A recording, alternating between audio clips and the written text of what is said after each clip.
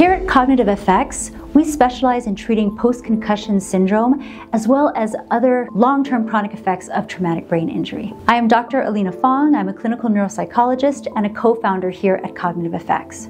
In this video today, we are going to discuss how you are not alone and how science actually shows that you are not in this miserable minority, but actually in the majority. We're also going to discuss some of the common symptoms that you might be experiencing and how those symptoms can actually play a role in your time to recovery.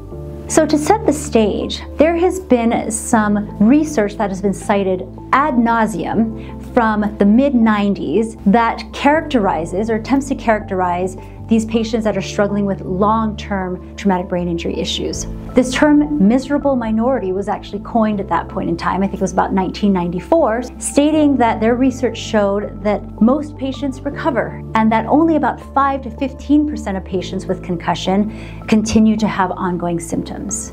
Well, current data shows that this is completely wrong.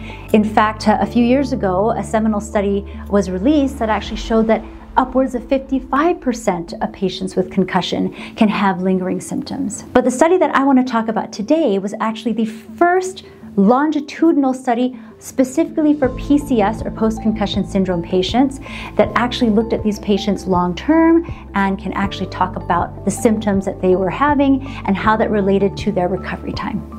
One of the most important findings in this study actually showed that only 27% of the respondents reported improvement and recovery. That means 73% of these patients did not get better.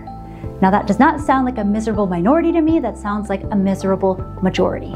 Now, when these 73% of patients were asked what symptoms they were still struggling with, you might be surprised to find out what these symptoms were. Now, right here, we can actually see that the five most common symptoms are headache, difficulty concentrating, fatigue, brain fog, and head pressure or headache, pressure in the head. Almost 70% of patients reported a headache.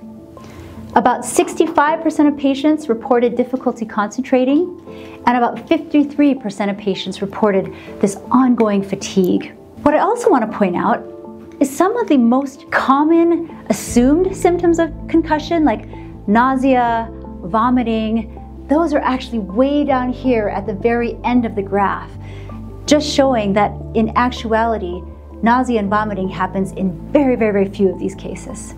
So in other words, the nature of the symptom, whether it's more physical or more cognitive or more sleep related or even more emotional, actually did not have any significant bearing on how that patient's uh, reported these symptoms or really the prevalence of these symptoms.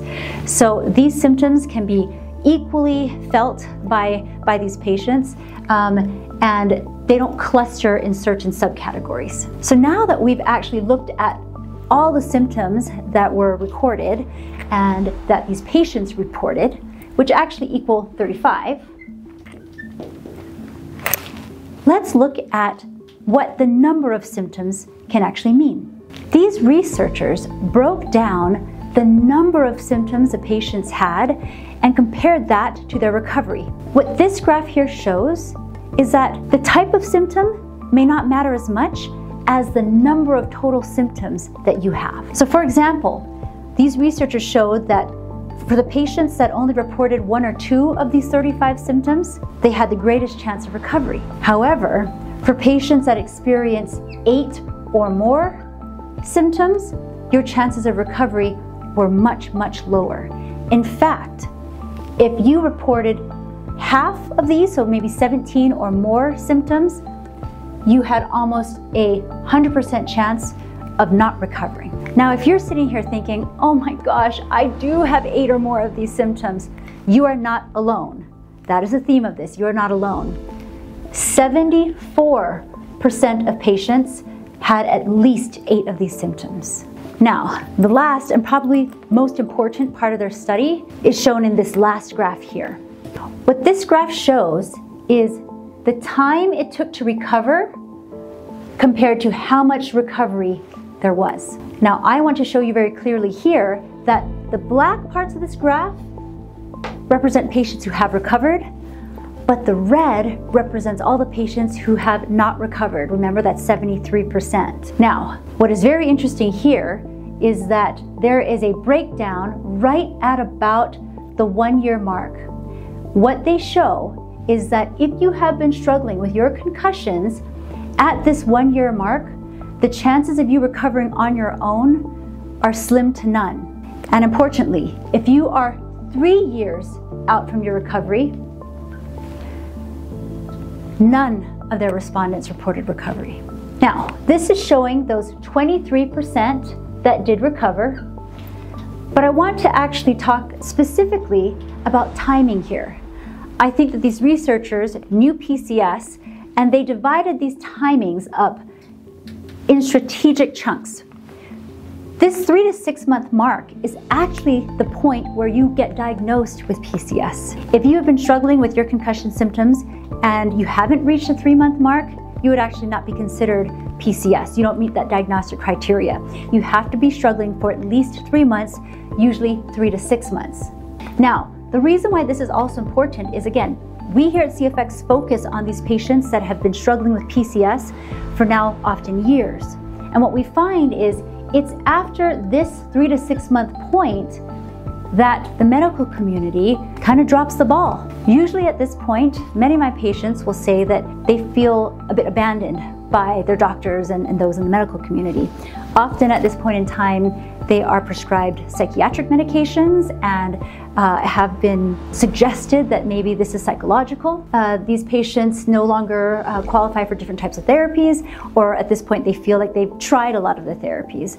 So it is really important to note that you know, most of the time around the six to 12 month range, yes, there's still improvement to be had, uh, but once you get to about the year mark, you start to see huge jumps in the patient percentages of patients that are not recovered. Now, do not despair. The reason that this is so important to me is because, again, most of the patients that come to us start right here at this two to three year mark, right when it seems like all hope is lost.